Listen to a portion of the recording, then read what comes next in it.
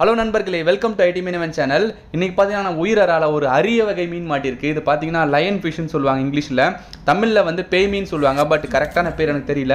So பார்க்கறதுக்கு ரொம்ப அழகாக இருக்கும். இது பார்த்தீங்கன்னா நிறைய அக்வேரியமில் பார்த்துருப்பீங்க அதே மாதிரி இது வளர்க்குறது ரொம்ப ரொம்ப கொஞ்சம் கஷ்டமான விஷயம்.